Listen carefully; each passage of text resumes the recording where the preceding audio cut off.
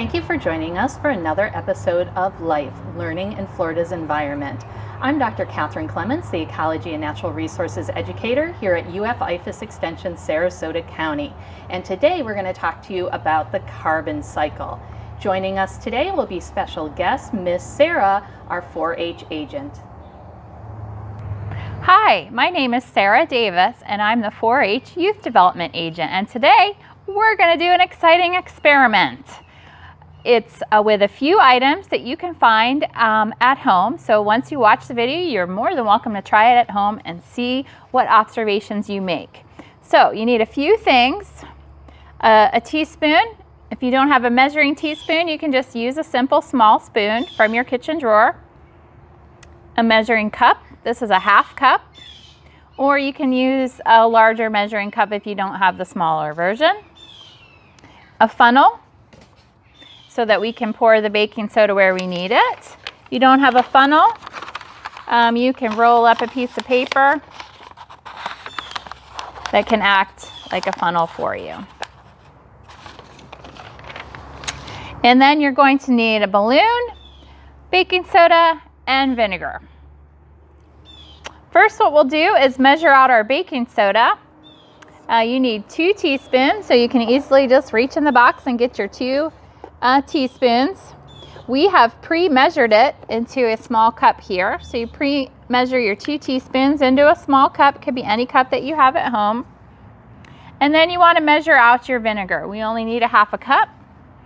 So we're going to take that and um, we're going to eventually pour the vinegar into a recycle bottle that I grabbed from our recycling bin.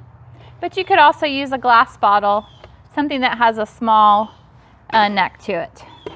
So we'll measure out the vinegar. And we've got a half cup here. A little bit more in. And then we're gonna carefully then pour that into the bottle.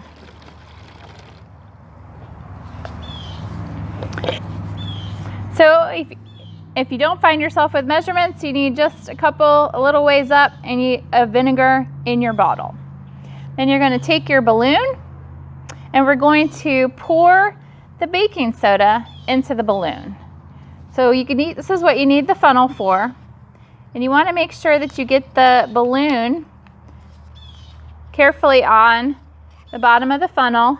And you want to hold the balloon on the bottom there so it has a nice seal. And then you'll take the baking soda and you're going to put that in the funnel and then just tap it a little bit so you get the baking soda in the balloon. The next step is to put the balloon on the bottle, but don't let the baking soda get into the bottle. So you want to put the balloon all the way around the bottle and then you want to kind of make sure that it's there and hold onto it tight because here comes our experiment part. So you're going to carefully lift up the balloon and woo!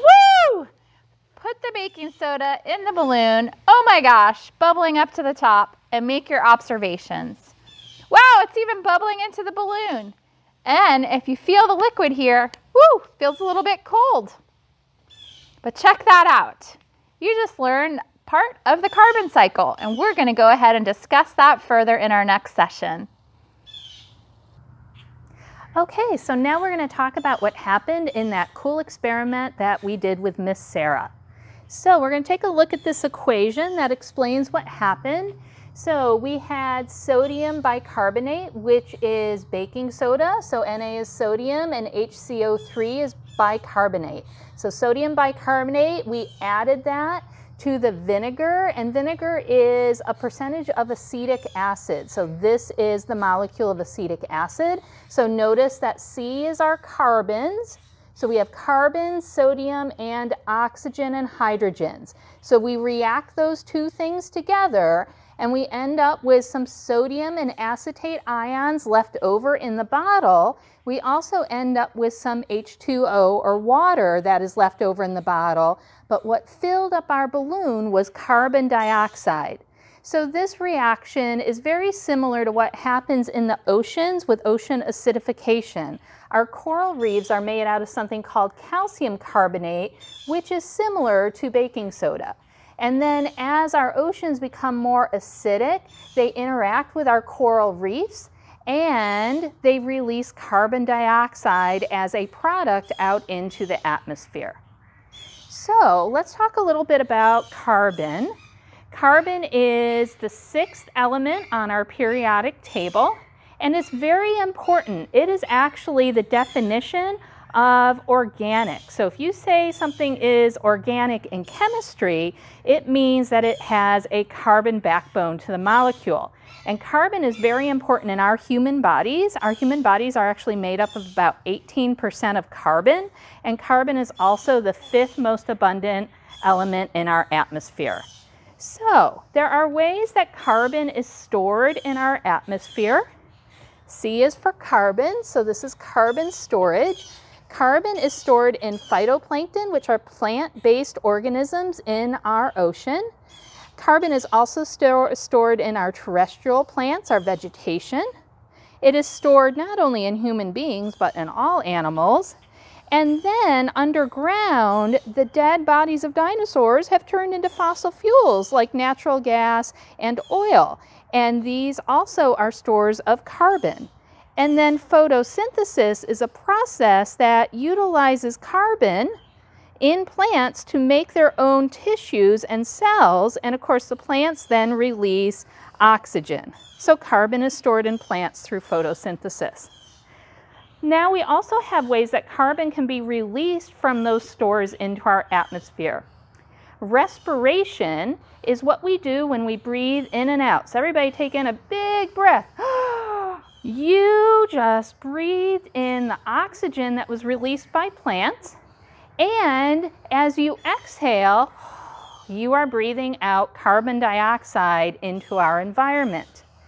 Decomposition is when fungi and bacteria break down dead organic material. And remember, when we say organic, that means things that were living that have now died. So their bodies have carbon that are released by decomposition. When we burn fossil fuels, like in our cars, when we use gasoline, we are releasing carbon from storage into our atmosphere deforestation, all of that vegetation, especially when we cut down the rainforest, that releases the carbon either through decomposition or through burning, like we see here, of the rainforest that has been deforested. And fire, whether that's in rainforest deforestation or even prescribed fires here in Florida, also releases carbon into the atmosphere. Hi, we're going to talk a little bit more in depth about the carbon cycle. A cycle is a continuous process in our environment, typically of nutrients moving in and out, just like we just discussed about carbon being released and stored. To simplify it, you, carbon can be released and stored into our atmosphere, our ocean, and stored in our land or released from our land. So we're going to talk about that process with the different things that we went over. So animals are store carbon. Just like uh, we can have 18% of carbon in our body, a lot of different animals also store carbon. Yet it can sometimes be released through cellular uh, respiration. Like we took that deep breath, we can release carbon, and that carbon gets released into our atmosphere and sometimes the vegetation, which can be planted in the land or along our estuaries, these are mangroves, which are great uh, storage for carbon. In fact, the fancy word, carbon sequestration, they have 14% rate of storage that they store uh, carbon. So carbon, again, can be stored in both of these places. And another great store of carbon is phytoplankton. Those are our ocean, tiny little organisms or tiny little plants that store, I think, up to 50% of the world's carbon stored in phytoplankton. Super, super important um, animals, or sorry, super, super important plants. And of course, our animals. Now plants, through the process of photosynthesis, again store uh, that carbon.